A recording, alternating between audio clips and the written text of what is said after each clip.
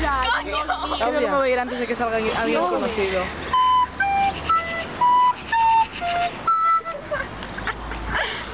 Entonces es una cosa de...